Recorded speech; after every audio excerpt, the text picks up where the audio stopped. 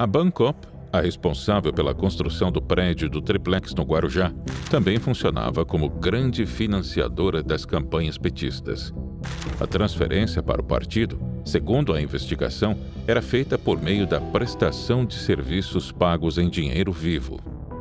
Tem pagamento da Bancop para Centro Espírita, para Pesque e Pague e empresas de fachada. Não tem a menor dúvida de que tudo isso é desvio, afirma a Folha o promotor José Carlos Platt. O Ministério Público de São Paulo investiga suposto desvio de dinheiro da Cooperativa Habitacional dos Bancários de São Paulo para o Caixa de Campanhas Eleitorais do PT. Detalhes da investigação foram publicados na reportagem de capa da revista Veja desta semana. As irregularidades denunciadas pela revista têm origem numa quebra de sigilo da Bancop. Pelo esquema mostrado pela revista, a cooperativa recebia notas frias de empresas e pagava os serviços que não eram prestados com cheques nominais. As empresas descontavam os cheques no caixa do banco e entregavam o dinheiro para dirigentes da Bancop. Um deles, João Vacari Neto, na época também presidente do Sindicato dos Bancários de São Paulo e hoje tesoureiro do PT. Constatamos que pelo menos uh, uns 30 milhões de reais foram sacados na boca do caixa pela Bancop. Há evidências fortíssimas de que o dinheiro foi desviado para campanhas eleitorais do Partido dos Trabalhadores a partir de 2002. Então, o cara que morreu, o, o então presidente da Bancop, era ele que recebia o dinheiro do próprio irmão, que era né, esse técnico em edificações aí.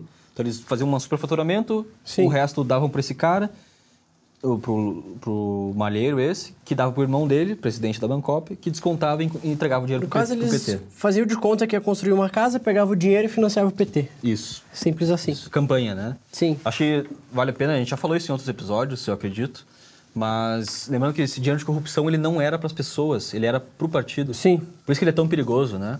O momento que você tem a máquina pública em suas mãos e usa ela própria para se manter no poder, isso é muito mais grave que roubar para comprar bolsa para mulher, por exemplo. Sim. Sapato, entendeu? Por isso que né, vale destacar sempre que essa corrupção é muito mais. Sim, grave, porque daí eles começam a ter acesso a outras coisas para conseguir mais e mais dinheiro e continuar no poder. Exato. E foi justamente com Lula que três executivos da Bancop se encontraram no dia de suas mortes. Os empresários voltavam da Feira Nacional da Agricultura Irrigada, onde, além de participar do evento, tiveram um encontro com Lula. O motivo da reunião seria cobrar o valor referente a uma quantia desviada do banco para a campanha presidencial de 2002. O calote refletiu nas finanças da Bangkok, que teve que interromper suas obras. Foi nesse contexto que os três executivos morreram em um acidente de trânsito em 12 de novembro de 2004. Hélio Malheiro disse em depoimento que o acidente era na verdade uma queima de arquivo. Segundo ele, o corpo de seu irmão e dos outros dois diretores foram levados a São Paulo de avião acondicionados em urnas lacradas, sem ao menos passar pela perícia do IML. Ainda no seu depoimento, Hélio Malheiro diz que seu irmão se via pressionado a ceder às pressões políticas e muitas vezes se viu obrigado a entregar valores grandes para as campanhas eleitorais do Partido dos Trabalhadores, desviando os recursos que eram destinados à construção de unidades habitacionais. Então, cara, essa segunda teoria aqui do que pode ter causado a morte dos três ex-diretores da Bancop é que o Lula, ao ser cobrado por eles né, na, nessa ocasião, uh, quis então eliminar os caras para não ter que ou pagar ou os caras, de repente, o Lula disse que não ia pagar e os caras iam. Sim, não ficar sofrendo uma pressão, a gente nem sabe pagar ou para. Sim, a gente não sabe o teor da ameaça, né? Vai, se tu não pagar, a gente vai né, na justiça, sim, sim, sim, vai falar tudo. Ou vamos largar os podres. Exato, então, e era bem no começo do, do primeiro mandato dele, né? Sim. Então eles tinham que manter isso aí, não podiam né, vacilar. Sim, tá, mas... um cara desses. Aí o Lula fez o quê? Ligou pro cara do caminhão, ó, oh, é um Corsa, é, assim, aí, assim. Aí a gente pode... Assim que tu vê ele... Por pura especulação, a gente pode pensar aqui, né? O que aconteceu lá? Diz que o Corsa saiu de uma rua, uh, de uma... Invadiu a invadiu a pista. pista contrária, né?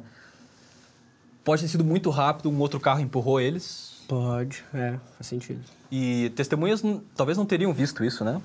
O carro para do lado e dá um toquezinho. Sim. Sabe que né, o carro dá um toquezinho, ele só vai, sim, né? sim, sim. Ainda mais uma rodovia federal onde está numa velocidade. Exato. A gente pode pensar num possível envenenamento. Acho mais difícil, talvez, né? Porque as autópsias teriam apontado isso, né? Acho que tá um pouco provável.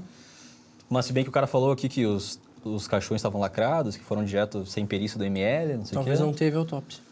Ah, então, a, gente não tem muita evidência, né, do como, né, o Lula teria ah, feito essa arranjado o assassinato dos três. Sim. Mas temos uma situação bem complexa aqui, né, de chantagem, coisas que a gente sabe que aconteceu segundo os próprios envolvidos aqui, né? É. Ah, o Lula teria o poder como presidente do Brasil, talvez, de dizer pros caras, ah, meu, não faz autópsia, não faz nada, bota os caras e manda. Pois é. Ah, mas meio. Difícil, né? Por mais que eu goste da teoria, é meio. Putz. Sim.